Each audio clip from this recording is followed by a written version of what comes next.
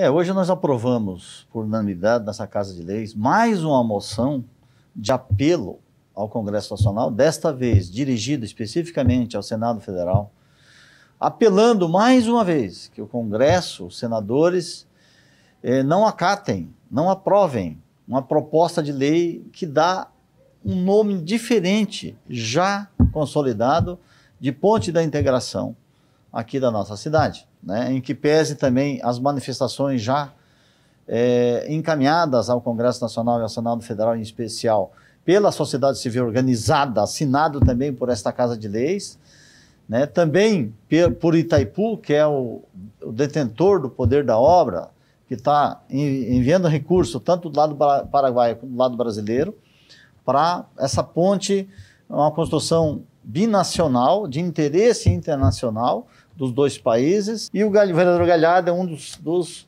que Proponente. combatentes, proponente dessa também, dessa intenção de, de, de, reversão dessa proposta, assim como toda a sociedade organizada, muitos municípios, muitas manifestações da cidade, inclusive os profissionais de imprensa vereador Galhardo. Mas veja, nós precisamos contemplar a todos, né? especificamente o Brasil, o Paraguai, também a Argentina, e o nome integração é perfeito é, para essa obra. Então, nós estamos enviando essa moção de apelo, é mais uma, outras ações não estão descartadas e a gente vai brigar até o fim para manter o nome da integração. É fato também, deixar estaqueado isso aqui, que é uma discussão que está nos tirando alguma energia que podia ser canalizada para outras situações que são mais emergentes. Infelizmente, uma, um deputado que não tem aqui uma relação muito próxima com a população de, de Foz do Iguaçu toma uma decisão descabida numa hora